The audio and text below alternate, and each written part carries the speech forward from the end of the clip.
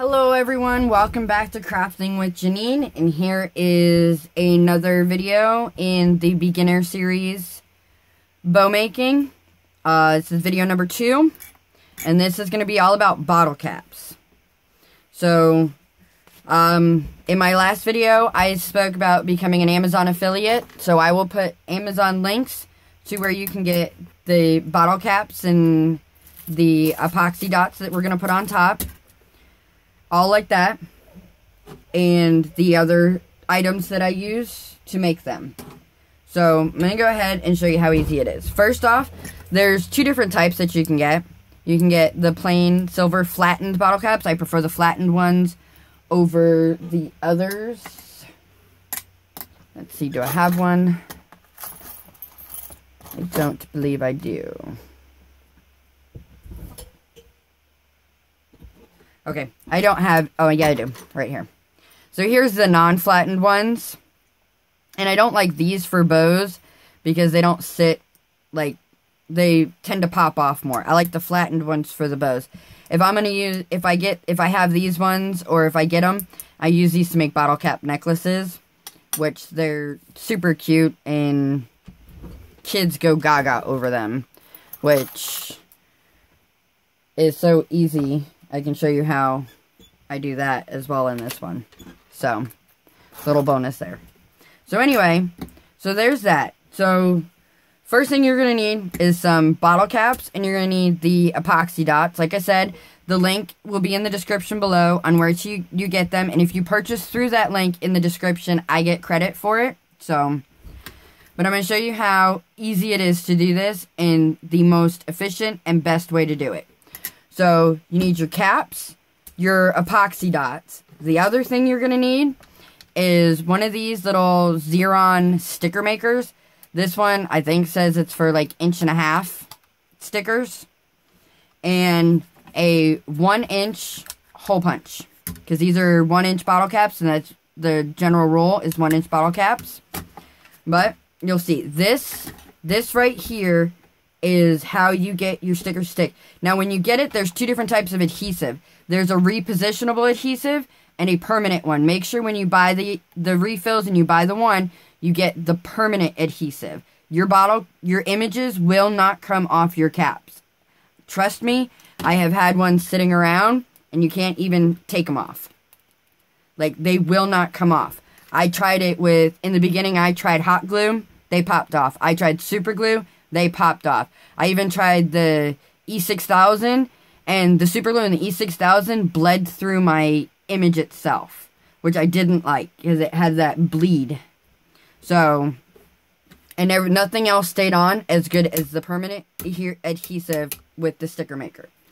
So, we need our one inch hole punch. Now, this one is this type. There's all kinds of different types. I'll put a couple of different links and you can choose which one you prefer but it's really easy. So, also with my images, I will put a link to my Facebook group. There, and you come join my group. There is an awesome lady in there, Miss Kim. She makes the images, and she's awesome, and she's got so many of them. All you have to do, and they're free, so that makes her even a more amazing person. All you do is just save the picture to your computer and you can send it off to um, Shutterstock or Shutterfly, because I think I said that wrong. Um, CVS, wherever, uh, Walmart, wherever you want to print, or you print at home if that's what you prefer. They're four by six images. That's how the circles are one inch. So you just you get them like this, and I'm just gonna pick one that is up at the top here. And all I do is I just take it and I center my image in the center of my hole upside down and I punch it out. It is so easy to do that. And then all I do is take my little punched out, I drop it in the slot there, and then I pull, then I rip that off. I kind of just press to make sure. And then this little piece comes off, and that's sticky, so you got to make sure you, before you throw it away, or else it'll stick to everything. And then all you do is you pull it off. Now you have a permanent sticker on the back. And you just set it in. push it down. And then you grab a dot off your sheet. And they come like this on the sheets with this little plastic cover over it to protect it. And then you just kind of set your dot in. And then I just give it some pressure just to make sure. Because underneath the dot, there'll be some like little air bubble-ish. So I just kind of seal it all down. And that's it. Easy peasy. All done. Good to go that way. Now, when I do my um, bottle cap ones, my for my necklaces, is how I do those. So, you just take it, and we line it up. I just pop it into my hand, set everything off to the side, and I pull it through.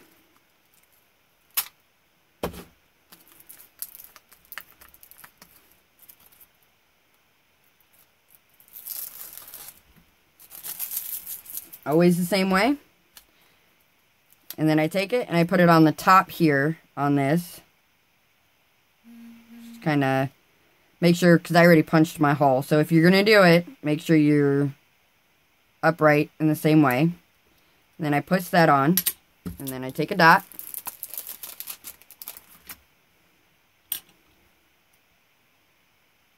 And I center over that. Just like that. And these necklaces I will put in the description below. I got them on Amazon as well. I did have to add the split ring to it. And I like the split rings better than the jump rings. The jump rings tend to, because kids are pretty rough on stuff. So they tend to pull and then the cap comes off the necklace. So I like the split rings better.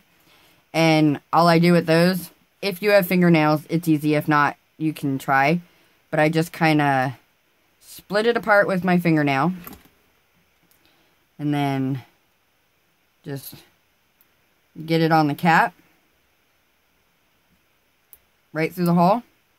Kind of like you're putting a key on a key ring. Same, same way. And just twist it until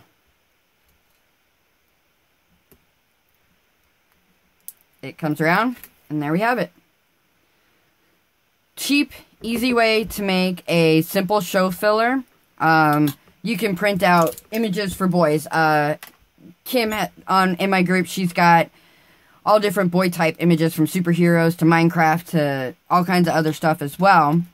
And the boys go crazy over these. You wouldn't think so, but they do. And you can get the caps in the colors. I will put a link for those as well. But along also with this cord, which is his leather cord, which is adjustable and sizable, and you just clip it on. So easy to make. Uh, bottle caps, um, and then you just put them on a simple pinwheel bow or something that might be plain. I know this one doesn't really match, but it's what I have done. And you just set them in the center, and there you go. You can also put them in the middle of your twisted boutique bows, your, I mean, so many things. That you see me use them in a couple of my different videos. Just like that. So there we have, that's how you do bottle caps. And then a bottle cap necklace. Once again, everything will be in the description below, along with a link to my Facebook page and my Facebook group. Um, I share all my videos there. The group we have an amazing group of ladies there. If I can't answer a question, if I don't get to it in time, if I'm busy or something, and they know the answer or they know where to find it or whatever, they jump in and they answer the questions. Everybody there is very helpful. And like I said, all the links to these will be in the description below. If you purchase through my links from Amazon, then I get credit for it. Um, and don't forget to hit that thumbs up and subscribe if you haven't already.